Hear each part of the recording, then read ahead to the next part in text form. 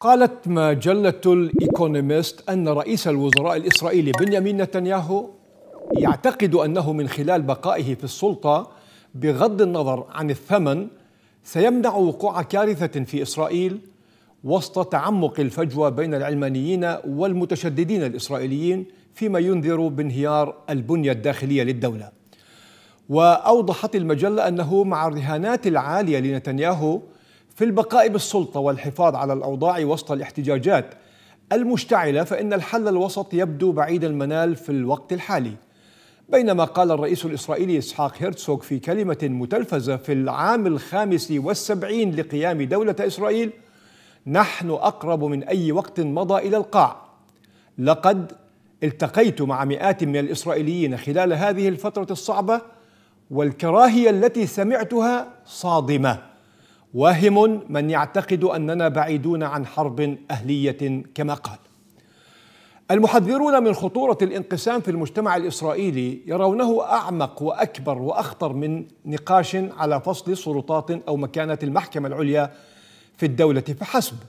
بل هو نتيجة انقسام عميق بين اليهود الغربيين والشرقيين وبين النخب وبين القيادة الرسمية الحالية للدولة وبين قيادات الدولة العميقة بين المتدينين من جهة والعلمانيين من جهة أخرى علاوه على الخلاف مع تيارات من المستوطنين ممن يدفعون لضم الضفة الغربية المحتلة وبناء دولة وبناء دولة يهودية من البحر إلى النهر. وهذا ما تعتبره أوساط إسرائيلية واسعة تهديدا وجوديا للدولة لأن الضم يعني الإجهاز على دولة إسرائيل كدولة يهودية وديمقراطية كما يعتقدون. لمناقشة هذا الموضوع أرحب بضيفي في الاستوديو في على عبر سكايب في الحقيقة إبراهيم الخطيب الخبير في الشؤون الإسرائيلية. دكتور إبراهيم أهلا وسهلا بك معنا. أهلا بك وبجميع المشاهدين. دكتور إبراهيم لو بدأنا بما جاء في مجلة الإيكونومست رئيس الوزراء الإسرائيلي بنيامين نتنياهو يعتقد أنه من خلال بقائه في السلطة بأي ثمن سيمنع وقوع كارثة في إسرائيل. وسط تعمق الفجوة بين العلمانيين والمتشددين الإسرائيليين فيما ينذر بانهيار البنية الداخلية للدولة، هل في تقديرك إصرار نتنياهو على خطته سيؤدي إلى الكارثة أم أنه سيمنع الكارثة؟ آه، بل على العكس تماما. إصراره على بقائه في السلطة هو الذي آه، يجلب الكارثة لإسرائيل. آه، نتنياهو بخطواته هذه التي يقوم بها.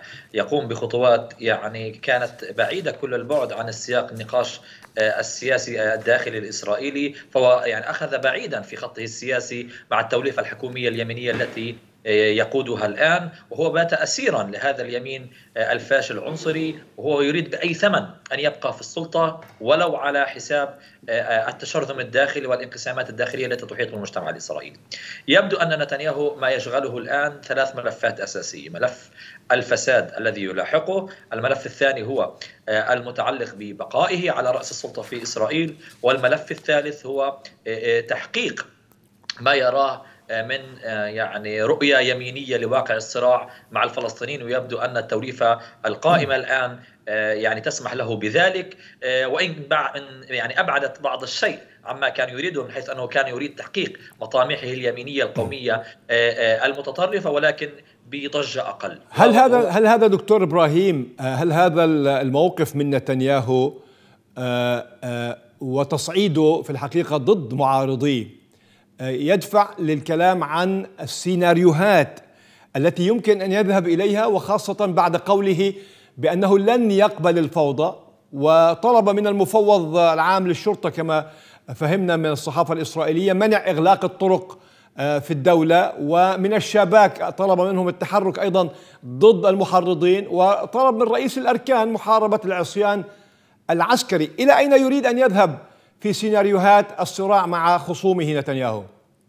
يعني نتنياهو الذي يعني آه، تشبع بمقولات أنه ملك إسرائيل والدعم الذي حصل عليه من اليمين واليمين المتطرف بات يدرك أنه أو يظن أنه هو الرئيس آه، رئيس الوزراء الأبدي لإسرائيل ويقوم بهذه السياسات بناء على ذلك. يعني الحديث الذي جاء به جالنت آه، وزير الدفاع الإسرائيلي وزير الجيش الإسرائيلي في حديثه لنتنياهو وسربته وسائل الإعلام الإسرائيلية يشير علانية إلى أن جالنت قلق بشكل كبير من انقسامات داخل الجيش إثر الخطة التي يريد نتنياهو تمريرها المرتبطة بالوضع القضائي في إسرائيل. وجالنت نفسه أشار إلى أنه سيقوم ب يعني الاستقالة من منصبه إذا استمر هذا التوجه بفرض دكتور إبراهيم يعني ربما يحسن هنا أن نذكر أن جالنت هو من حزب نتنياهو نفسه أليس كذلك؟ صحيح. صحيح. يعني جالنت هو من حزب الليكود الحزب الذي يقوده نتنياهو. وبالتالي هناك داخل الليكود نفسه يعني من يرى أن الواقع السياسي آه، صعب. وهناك انقسامات داخل المجتمع الإسرائيلي يمكن أن تجر إلى آه، آه، يعني حالة من الخصام الشديد وانقسامات داخل الجيش. خصوصا أن هناك تصريح واضح من قيادات إسرائيلية سابقة في الجيش وقيادات في, في الاحتياط الإسرائيلي أنها لن تنصاع ولن تأتي لتقوم بالخدمة بين قوسين إذا ما تم تمرير هذه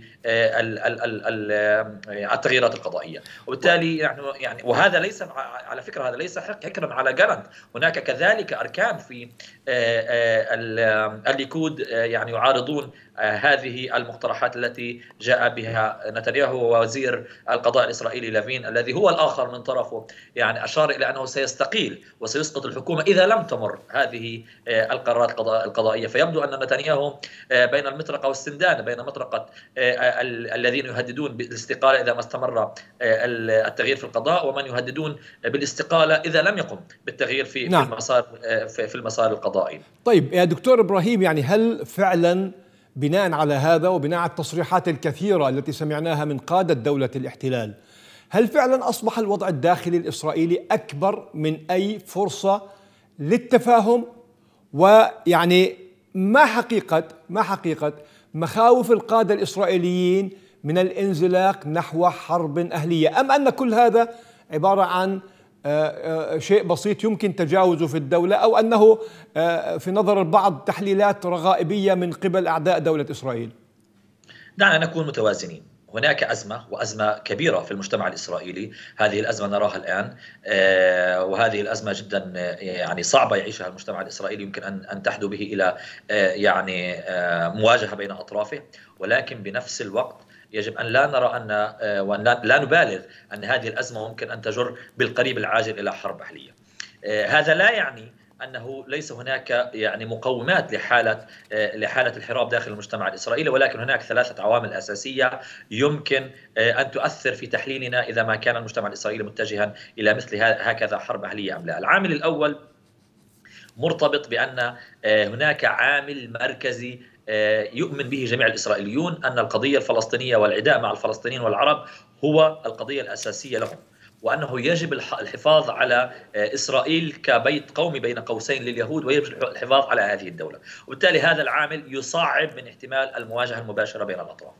العامل الثاني الذي يجب أن ناخذه في تحليل آه، إمكانية يعني التوجه نحو حرب أهلية أو خلاف أكثر متصاعد هو الاستمرار في في هذه آه، القوانين. ويبدو أن نتنياهو آه، يعني سيحاول أن يكون هناك التفاف آه، حول المقترحات هذه والتفاف حول المظاهرات من خلال طرح ممكن أن يكون بعض الشيء مقبولا على بعض الأطراف وهذا ليس بالسهل. ولكن يمكن أن يقوم به نتنياهو خصوصا اننا نعلم أن نتنياهو من أمهر السياسيين الإسرائيليين في المناورات السياسية وهو يعتبر ثعلب السياسة الإسرائيلية. يعني هل هل يمكن القول دكتور إبراهيم ان أن نتنياهو أخذ ما يريد على الأقل في هذه الفترة الأولى وأنه يمكن أن يناور بتأجيل بعض جزئيات أو بعض القوانين التي يريدها هو أو يريدها أعضاء ائتلافه. صحيح. هذا ما يحاول القيام به. يعني بعد ضغط من آه، الولايات المتحدة. هناك اتجاه آه، لتأجيل بعض إقرار بعض القوانين لفترة لاحقة والعمل فقط على القانون المرتبط ب آه، طبعا لجنة اختيار القضاة وبالتالي هذا هذا حل يعني يعتبر من نتنياهو وزملائه حل ممكن. طبعا هناك كذلك تعديل في هذا القانون المرتبط بلجنة اختيار الوزراء. حل يراه نتنياهو مناسبا وفيه تعديل بال يعني بالمقترح الأول الذي كان ويعطي أغلبية واضحة في تعيين مجمل القضاة في إسرائيل لصالح الحكومة الإسرائيلية وطبعا الائتلاف الحكومي. طيب. طبعا هذا الحل لم لم يعني ليس مقبولا على المتظاهرين الإسرائيليين ولا ليس على ولا على اليسار الإسرائيلي وبالتالي هذا سيشكل تحدي.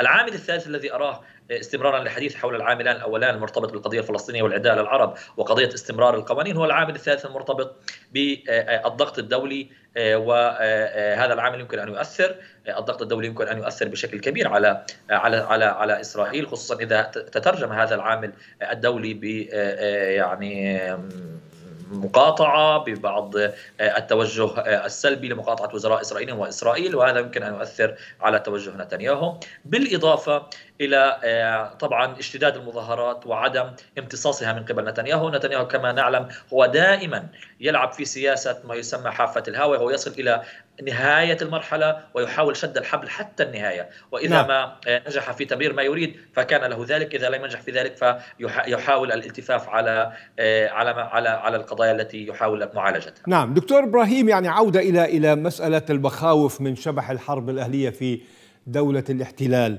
يعني الرئيس الإسرائيلي كان له مساعي واضحة خلال الفترة الماضية منذ أن تم اعتماد الحكومة في البرلمان إلى الآن وهو يحاول أن يقرب وجهات النظر لكنه صرح في أكثر من مرة أنه لم يستطع الوصول إلى حل مرضي للطرفين. وآخر تصريح له في ذكرى أو في في ذكرى أو في في ما قاله عن الذكرى 75 لاقيام الدولة. كان واضح أنه يعتقد أن دولة دولة إسرائيل ليست بعيدة عن حرب أهلية. يعزز ذلك أيضا يا دكتور إبراهيم أنه صحيفة معاريف الإسرائيلية مؤخرا تحدثت عن سيناريو مرعب اسميته هكذا السيناريو المرعب والذي أشار إليه ربما الجنرال الاحتياطي إسحاق بريك قبل أيام. والذي تحدث فيه عن الانقسام في الأجهزة الرئيسية للدولة وخاصة الجيش والشرطة والشباك. هل فعلا هناك مخاوف حقيقية تعكسها مثل هذه التصريحات؟ نعم أتفق مع ذلك أن هناك هذه المواقع هذه المخاوف واردة وقائمة. السؤال المركزي حول حجمها وحجم تأثيرها مقابل العوامل الأخرى. هذا الانقسام واضح يعني كان هناك واضح مقولة داخل الجيش الإسرائيلي أن الجيش الإسرائيلي يواجه حالة يعني غريبة من نوعها بأن هناك عددا كبيرا من جنود الاحتياط الذين لا يشاركون في عدد من الجولات التدريبية في أو في الآونة الأخيرة. وهناك عدد من الطيارين الإسرائيليين سلاح الجو الإسرائيلي يعتمد عليهم بشكل اساسي أشاروا إلى معارضتهم لهذه التغييرات. فبالتالي نحن يعني أمام حالة ضغط يشكلها هؤلاء على على نتنياهو وعلى حكومته والذي أدى به جالنت كما ذكرنا إلى هذا التصريح الخطير الذي أشار فيه إلى أن استمرار هذه التوجهات في التغيير في القضاء يمكن أن أن تجعل الجيش ينقسم وهو لا يريد أن يتحمل هذه المسؤولية، وبالتالي هذه المخاطر قائمة ولكن لدع مجددا لنكون متوازنين هذا هذه ليست مسألة بالسهلة أن تتم وأن تكون في في فترة قريبة وهذا ولكن هذا لا يمنع انها يمكن أن تحدث. طيب دكتور الآن بالأمس الثلاثاء صادق الكنيست بقراءة أولى على مشروع قانون يسمح بإعادة درعي إلى الحكومة ومعروف أنه درعي يعني مدان بمخالفات جنائية سابقا وتم رفضه من قبل المحكمة العليا عندما عينه نتنياهو في الحكومة الأخيرة يعني ما هو تأثير مثل هذا القانون على حالة الصراع في الدولة؟ يعني هذا القانون ضمن حزمه من القوانين التي يريد نتنياهو تمريرها مرتبطة به وبزملائه في اليمين، هذا القانون هو لإرضاء درع الذي طبعا قضت المحكمة بان لا يكون وزيرا بسبب ملفات الفساد التي ترافقه، وهذا كذلك ممكن أن ينطبق لاحقا على وزراء آخرين وحالة نتنياهو الذي يعني كذلك يحاكم هو الآخر. كل ذلك يعني يثير المجتمع الإسرائيلي ويثير يعني المتظاهرين الذين يناوئون هذه التغييرات لأنه يترافق مع سلسلة أخرى من القوانين قوانين مرتبطة بالجانب اليهودي لإسرائيل وتعزيز دور الدين اليهودي في الحياة العامة الإسرائيلية في المستشفيات وفي المرافق المختلفة. حتى هناك قانون آخر الآن يتم الحديث عنه مرتبط بمنع التبشير التبشير المسيحي داخل إسرائيل. وهذا يمكن أن يثير طبعا الولايات المتحدة والمسيحيين الانجيليين في الولايات المتحدة. وهذا يعني أشارت إليه الأخبار الإسرائيلية في في في اليوم في هذا اليوم والأمس. هناك توجه بهذا الاتجاه. ناهيك عن سلسلة أخرى من القوانين. القانون الذي تم الأسبوع الأسبوع الماضي المرتبط بقانون فك الارتباط والذي يعني أن ما تم خلال فترة الانسحاب من قطاع غزة وإخلاء عدد من المستوطنات في الضفة الغربية بناء على هذا القانون بالإضافة طبعا إلى المستوطنات في غزة تم إلغاؤه. هذا يسمح بالاستيطان مجددا في هذه المستوطنات. وبالتالي نحن نتحدث عن حكومة يمينية تقوم بسلسلة من القوانين قوانين مرتبطة بالقضية الفلسطينية وقوانين مرتبطة بالمجتمع الإسرائيلي والانقسام العلماني الديني داخل إسرائيل. وطبعا من يقوم بالاحتلال آه، ويصر على الاحتلال والتمييز العنصري آه، ويقوم بهذه السياسات. هو لن يكون ديمقراطيا آه، داخل مجتمعه لأن هذا ينعكس على المجتمع ذاته. وهذا ما يحدث في الآونة الأخيرة. وبات الإسرائيليون يشعرون بأن هذا هذا اليمين العنصري الديني الفاشي كذلك يصل إلى عقر دارهم في تل أبيب وفي حيفا وفي مجمل المدن الإسرائيلية. طيب دكتور نختم ب يعني من خلال المعطيات التي تطلع عليها حضرتك ومتابعتك للموقف الإسرائيلي الداخلي. الآن إلى أين تتجه الاحتجاجات والمظاهرات والاختلافات داخل الدولة؟ يعني خلال الفترة القادمة ما الذي نتوقعه من هذه الاحتجاجات في الشارع وأشكال الاحتجاج المختلفة والتمترس حول المواقف من الأطراف المختلفة؟ هناك ثلاث مسارات أساسية، المسار الأول مرتبط آه، طبعا بقدوم قريبا الأعياد اليهودية، نحن نتحدث عن عيد الفصح، وبالتالي هناك مراهنة على أنه الأمور ممكن أن تتجه إلى نوع من التهدئة آه، وممكن أن تؤثر على على مسيرة الاحتجاجات، المسار الثاني مرتبط بتوجه نتنياهو إلى محاولة التعديل في آه، في هذه القوانين لمحاولة إرضاء يعني من يمكن ارضائه في الشارع الإسرائيلي أو حتى في المجتمع الدولي، ويبدو أن هذا المسار سيكون به آه، عثرات لكون هناك يعني المتظاهرون يجمعون على معارضة خطوات نتنياهو خصوصا مع التجربة السابقة التي خاضوها آه، مع نتنياهو في التفافه على عدة يعني مظاهرات والتفافه على عدة مطالب شعبية. الأمر الثالث مرتبط بطبيعة الائتلاف الحكومي وتماسكه خصوصا إذا ما استمر المعارضة داخل الليكود بما يقوم به نتنياهو وتترجمت هذه المعارضة إلى إلى عمل فعلي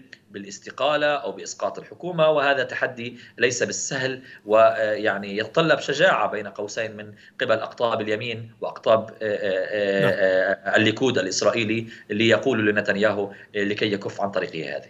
أشكرك دكتور إبراهيم الخطيب أستاذ العلوم السياسية والخبير في الشؤون الإسرائيلية. والآن نخرج لفاصل قصير نعود بعده لمناقشة قضية الأسبوع. أرجو التفضل بالبقاء معنا.